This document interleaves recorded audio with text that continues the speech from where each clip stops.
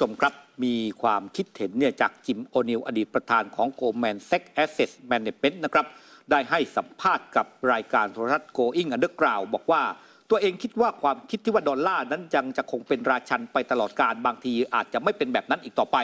นะครับ ก็บอกว่าไม่ใช่ครั้งแรกนะครับ ที่ผู้คนพูดถึงจุดจบของดอลลาร์มันเกิดขึ้นมาทุกๆ ปี แต่ไม่หนักหน่วงแบบปีนี้นะครับเขาบอกด้วยว่าบางทีสกุลเงินสหรัฐอาจจะอยู่ในจุดที่สูญเสียสถานะไปบ้างแล้ว และคิดว่าจีนและอินเดียสามารถเห็นพ้องต้องกันในสิ่งต่างๆ ที่หนักแน่นที่สุดเท่าที่เคยมีมา ในฐานะสองชาติใหญ่ที่สุดในโลกของตลาดเกิดใหม่ เมื่อนั้นบางทีมันอาจจะได้เห็นตัวเร่งจุดจบของการครองโลกของดอลลาร์สหรัฐนะครับ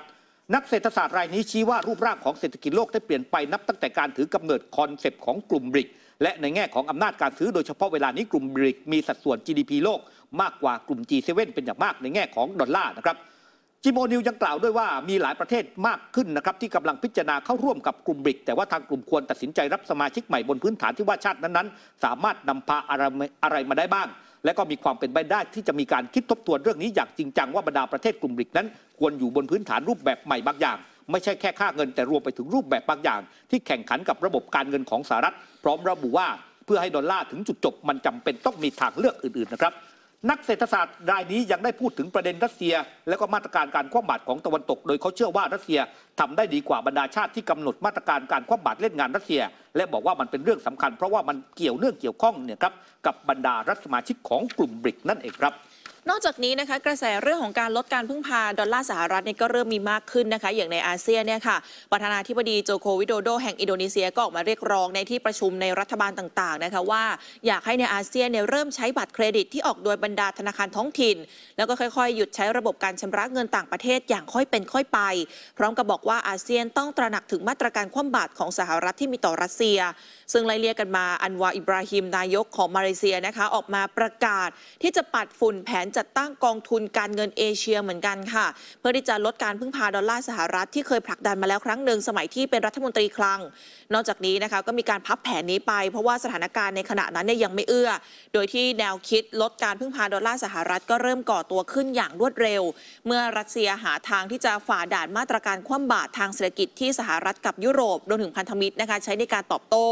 โดยที่หลังจากนั้นนะคะก็มีทางรัฐบาลของอาร์เจนตินาออกมาประกาศเหมือนกันค่ะ ว่าอาร์เจนตินาเนี่ยก็ตั้งเป้าที่จะจ่ายเงินซื้อสินค้านำเข้าจากจีน มูลค่าประมาณ 1,000 ล้านดอลลาร์สหรัฐ ในรูปของสกุลเงินหยวนแทนดอลลาร์นะคะ หลังจากนั้นจะซื้อสินค้านำเข้าจากจีนรายเดือนมูลค่าประมาณ 790 ล้านดอลลาร์สหรัฐ ก็จะจ่ายเป็นเงินหยวนเหมือนกัน ส่วนบราซิลค่ะหนึ่งใน 5 สมาชิกของกลุ่มบริกก็เรียกร้องให้กลุ่มประเทศบริกหาสกุลเงินใหม่ เพื่อที่จะใช้แทนดอลลาร์สหรัฐเมื่อทำการค้ากับประเทศอื่น ๆนะคะ ครับนี่คือความเคลื่อนไหวที่น่าสนใจมากนะครับสิ่งที่น่าสนใจมากไปกว่านั้น ก็คือล่าสุดนั้นเนี่ยกลุ่มบริกเนี่ยครับได้แสดงความเข้มแข็งทางด้านเศรษฐกิจผ่านตัวเลข GDP นะครับหรือว่ารายได้มวลรวมได้สูงถึง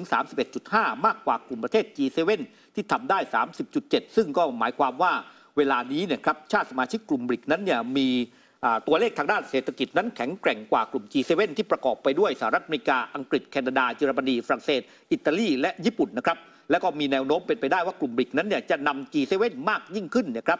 ภายในปี 2030ซึ่งแน่นอนครับว่าเรื่องนี้เนี่ยก็เป็นเรื่องที่น่าสนใจทีเดียว เพราะว่าเวลานี้เนี่ยประเทศต่างๆ นั้นเนี่ยก็สนใจในการที่จะเข้าร่วมมาเป็นสมาชิกกลุ่มบริกนะครับรวมถึงกรณีที่อย่างที่บอกนะครับว่าฝากฝั่งของบราซิลเองนั้นก็หนุนในการที่จะใช้เงินเนี่ยครับอ่าเป็นเงินท้องถิ่นในกลุ่มบริกแทนเงินดอลลาร์สหรัฐในการทำมาค้าขายระหว่างกันด้วยนะครับ ค่ะ ซึ่งตัวลูลาดาซิลวาเองก็บอกว่าทำไมสถาบันธนาคารอย่างบริกที่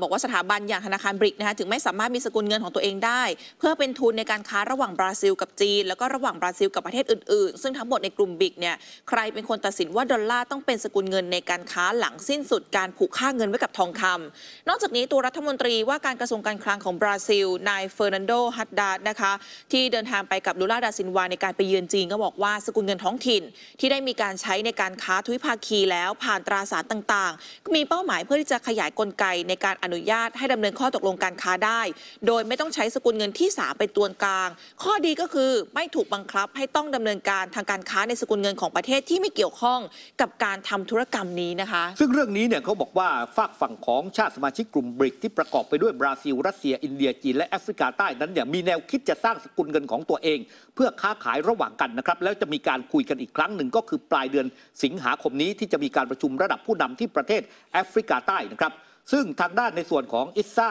มาลังกานะครับหัวหน้านักเศรษฐศาสตร์ธนาคารแรนด์เมอร์แชนท์ของแอฟริกาใต้ระบุบอกว่า หากดูพื้นฐานของเศรษฐกิจแล้วสกุลเงินบริกไม่สามารถไม่สามารถจะโค่นดอลลาร์ได้ในเวลาอันใกล้ แต่ว่าสิ่งที่มันจะเกิดขึ้นนั้นก็คือมันสามารถที่จะเข้ามามีบทบาทได้พอสมควร ส่วนผู้เชี่ยวชาญคนอื่นๆ นั้นแสดงความคิดเห็นบอกว่า อินเดียเนี่ยจะยอมรับสกุลเงินใหม่นี้หรือไม่และ ต้องการที่จะอยู่ขั้วเดียวกับจีนในทางด้านเศรษฐกิจด้วยหรือเปล่า เพราะว่าอินเดียกับจีนนั้นเนี่ยมีข้อพิพาททางพรมแดนระหว่างกันนะครับ ในขณะที่ปราซันปราดาคาเดสปันเด นักวิชาการของอินเดียก็มองว่าความขัดแย้งชายแดนระหว่างอินเดียกับจีนจะทำให้อินเดียอาจไม่สนับสนุน แผนของจีนที่จะโค่นดอลลาร์สหรัฐอินเดียมองว่าความพยายามของรัสเซียและจีน จะลดการใช้ดอลลาร์นั้นเนี่ยเป็นแค่อุดมการณ์นะครับมากกว่าจะ จะสามารถปฏิบัติจริง ดังนั้นอินเดียจึงไม่แสดงออกชัดเจนที่จะสนับสนุนให้กลุ่มบริกท้าทายความเป็นใหญ่ของดอลลาร์สหรัฐนะครับ ในขณะที่ฮาร์ช วีแพนต์รองประธานศึกษานโยบายต่างประเทศของ Observe Observer Research Foundation นะครับหน่วยงาน ด้านความคิดของอินเดียนั้น บอกว่าถึงแม้ความสัมพันธ์ระหว่างอินเดียกับรัสเซียจะยังเหนียวแน่นแต่หลังจากรัสเซียถูกตะวันตก sanction ก็หันไปใกล้ชิดจีนมากขึ้น ก็ทำให้อินเดียเนี่ยจับตามองด้วยความกังวล เพราะว่าอินเดียต้องพึ่งพาอาวุธจากรัสเซียด้วยตระหนักถึงประเด็นอ่อนไหวนี้ทำให้ตะวันตกนั้นเอื้อมมือไปหาอินเดียแม้ว่าจะเกิดความแตกต่าง เกี่ยวกับจุดยืนต่อสงครามรัสเซียยูเครน ความกังวลด้านความมั่นคงกำลังผลักดันให้อินเดียนั้นใกล้ชิดกับสหรัฐมากยิ่งขึ้น เช่นเดียวกันนะครับ หลายค่ะฝ่ายก็บอกว่าคนที่จะคัดค้านการใช้สกุลเงินที่เป็นสกุลเงินของกลุ่มบริก ก็จะมีอินเดียนี่แหละนะครับ นอกจากนี้นะคะยังมีกระแส de-dollarization ค่ะ เป็นกระแสที่การที่ประเทศต่างๆเนี่ยลดการพึ่งสกุลเงินดอลลาร์ด้วยนะคะ ก็คืออย่างบราซิลที่บอกไปว่าก็เริ่มใช้เงินหยวนในการค้าขายกับจีน หรือว่ารัสเซียก็เตรียมจะใช้เงินหยวนในการค้าขายกับประเทศในเอเชียแอฟริกาลาตินอเมริกา อินเดีย มาเลเซีย ก็เริ่มใช้เงินรูปีของอินเดีย เพื่อการซื้อขายในบางรายการเหมือนกัน แต่ทีนี้เนี่ยมันมีประเด็นเรื่องของระบบสกุลเงินหลายขั้วที่กำลังจะมานะคะ หรือว่าเป็น multipolarซึ่งจะเป็นตัวเปลี่ยนเกมสำคัญสำหรับสกุลเงินหลักทั่วโลกค่ะ เนื่องจากปัจจุบันกลุ่มบิกก็คิดเป็น 40%ของประชากรโลก และมี GDP คิดเป็น 1 ใน 4 ของ GDP โลกนะคะ แน่นอนว่าสหรัฐเนี่ยจะถูกท้าทายมากขึ้นค่ะ หากว่ากลุ่มประเทศผู้ผลิตน้ำมันรวมทั้งอิหร่าน โดยเฉพาะอย่างยิ่งซาอุดิอาระเบีย ที่เป็นพันธมิตรกันมาอย่างยาวนานนะคะ ประกาศขายน้ำมันในสกุลเงินอื่นที่ไม่ใช่ดอลลาร์อันนี้จะได้รับผลกระทบหนักแน่นอน แล้วก็มีความเป็นไปได้ด้วยที่ว่าจะเกิดขึ้นในอนาคต ก็มีการคาดการณ์กันนะคะว่าเงินดอลลาร์สหรัฐเนี่ยจะสูญเสียตำแหน่งสกุลเงินหลักของโลกไป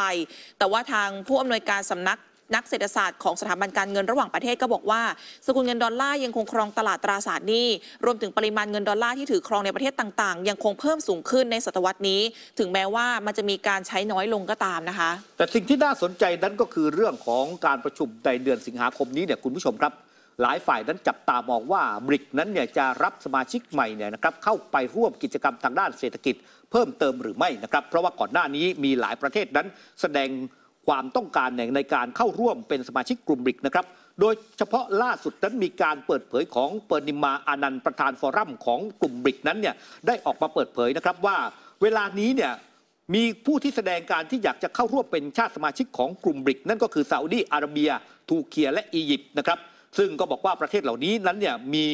มีส่วนร่วมกับกระบวนการนี้อยู่สักระยะหนึ่งแล้ว นอกจากนั้นก่อนหน้านี้ก็มี 3 ชาตินะครับ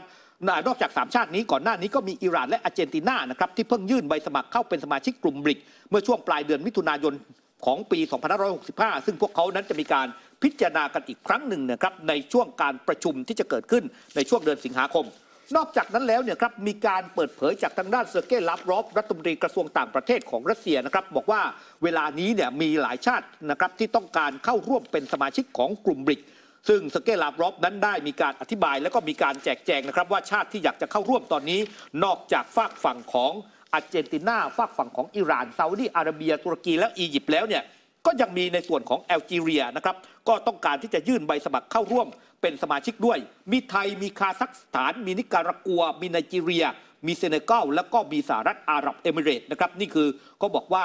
เป็นประเทศที่ยื่นเนี่ยต้องการที่จะเข้าร่วม ทีนี้เนี่ยเราไปดูแต่ละประเทศกันแบบคร่าว ๆ แล้วกันครับว่าค่ะประเทศที่อยากจะเข้าร่วมนั้นเนี่ยเขามีมูลค่าการค้ามี GDP เนี่ยเป็นอย่างไร เริ่มต้นกันที่อัฟกานิสถานนะครับมี GDP อันดับที่ 111 ของโลกมูลค่าเนี่ย20 21.5 พันล้านดอลลาร์สหรัฐนะครับ ซึ่งก็บอกว่าตรงนี้เองเนี่ยอัฟกานิสถานก็มีประชากร 40 ล้านคน ก็มีเรื่องของการทำมาค้าขาย แล้วก็แน่นอนว่าที่ผ่านมาอัฟกานิสถานนั้นก็เป็นผู้สังเกตการณ์ขององค์กรความร่วมมือเซี่ยงไฮ้แล้วก็ยังเป็นสมาชิกของสมาคมเอเชียใต้ เพื่อความร่วมมือระดับภูมิภาคอยู่แล้ว ดังนั้นเนี่ยการเข้าร่วมเนี่ยก็เป็นสิ่งที่น่าสนใจ เพราะพวกเขาเนี่ยมีถ่านหินมีฝ้ายนะครับเป็นสินค้าสำคัญด้วยนะครับนอกจากนี้ยังมีแอลจีเรียนะคะที่มี GDP อันดับที่ 57 ของโลกค่ะ นอกจากนี้นะคะในแง่ของทางศักยภาพทางเศรษฐกิจเนี่ยแอลจีเรียมีประชากรถึง 45 ล้านคน มีปริมาณสำรองก๊าซธรรมชาติที่ผ่านการพิสูจน์แล้วมากเป็นอันดับ 10 ของโลกนะคะ และยังเป็นผู้ส่งออกก๊าซรายใหญ่อันดับ 6 ของโลก มีแหล่งก๊าซจากชั้นหินที่ยังไม่ได้ใช้มากเป็นอันดับ 3 ของโลกด้วย ส่วนสินค้านำเข้าสำคัญก็คืออาหาร อย่างเช่น ข้าวสาลีนมข้นข้าวโพดน้ำตาลทรายดิบ แต่ว่าแอลจีเรียเนี่ยเป็นสมาชิกของกลุ่มโอเปกนะคะรวมถึงคองโกเอกวาดอร์แล้วก็รวมถึงประเทศต่างๆ ค่ะ ซึ่งก็ได้มีสิทธิ์ลดภาษีให้เป็นศูนย์ใน 98%ของการค้าภายในแอฟริกาทั้งหมดด้วยนะคะครับในขณะที่อาร์เจนตินานั้นเนี่ยครับเป็นอีกประเทศหนึ่งที่มี GDP อันดับที่ 31 ของโลกนะครับอัตราการเติบโตของ GDP นั้นอยู่ 3.6%มีประชากร 46 ล้านคนนะครับเป็นประเทศเศรษฐกิจนะครับแล้วก็ต้องบอกว่ามีกิจกรรมทางด้านเกษตรกรรม แล้วก็เป็นซัพพลายเออร์รายใหญ่ของโลกเป็นอันดับ 2 ของกลุ่มตลาดร่วม อเมริกาใต้ตอนล่างนะครับ สินค้าส่งออกที่สำคัญของอาร์เจนตินาก็คือถั่วเหลืองนะครับ เชื้อเพลิงยานพาหนะข้าวโพดนะครับข้าวสาลี แล้วก็นำเข้าสำคัญนั้นก็คือเป็นเพื่อเครื่องจักรอุปกรณ์เครื่องยนต์ แล้วก็น้ำมันก๊าซนะครับเอ่อน้ำมันแล้วก็ก๊าซธรรมชาติรวมถึงเคมีพันนะครับ เช่นเดียวกับทางด้านอียิปต์อียิปต์นั้นเนี่ยประชากร 104 ล้านคน แล้วก็มีสินค้าในการที่จะนำเข้าเนี่ยครับก็หลายอย่างด้วยกันนะครับไม่ว่าจะเป็นเรื่องของ ข้าวนะครับหัวหอมกระเทียมนะครับสินค้าส่งออกหลักๆเนี่ยก็คือเรื่องของปิโตรเลียมนะครับ นอกจากนี้นะคะก็ยังมีไนจีเรียด้วยนะคะไนจีเรียเนี่ยมี GDP อันดับที่ 28 ของโลก แล้วก็มีประชากรมากถึง 211 ล้านคน ซึ่งตอนนี้นะคะทางไนจีเรียเองเนี่ยมีประชากรมากที่สุดในแอฟริกาค่ะ แล้วก็มีขนาดเศรษฐกิจที่ใหญ่ที่สุดในแอฟริกาด้วย และเป็นผู้ผลิตน้ำมันและก๊าซรายใหญ่ที่สุดในแอฟริกา อยู่ในอันดับ 10 ของโลก เป็นสมาชิกโอเปกนะคะแล้วก็ยังเป็นสมาชิกข้อตกลงการค้าเสรีทวีปแอฟริกา การค้าหลักอยู่ในอุตสาหกรรมปิโตรเลียมดิบก๊าซปิโตรเลียม แล้วก็ปิโตรเลียมบริสุทธิ์รวมถึงการต่อเรือและการจัดการเศษซากเรือคู่ค้าหลักของไนจีเรียเนี่ยก็จะเป็นประเทศใหญ่ๆ ทั้งอินเดีย สเปน เนเธอร์แลนด์ จีน แล้วก็แอฟริกาใต้ค่ะ ครับ นอกจากนี้ยังมีนิคารากัวนะครับ ซึ่งก็เป็นประเทศที่มี GDP อันดับ 133 ของโลกนะครับ มีอัตราการเติบโตตอนนี้เนี่ย 4.3%นะครับ ก็เป็นประเทศที่อยู่ในภูมิภาคอเมริกากลาง มีประชากรประมาณ 7 ล้านคนแล้วก็ถือว่าเป็นประเทศเป็นผู้ผลิตทองคำชั้นนำในอเมริกากลางนะครับ ซึ่งก็ที่ผ่านมานั้นเนี่ย ก็มีความสนใจที่อยากจะเข้าร่วมเป็นชาติสมาชิกของกลุ่มบริกนะครับสินค้าส่งออกหลักของนิการากัว ก็คือทองคำมีกาแฟนะครับ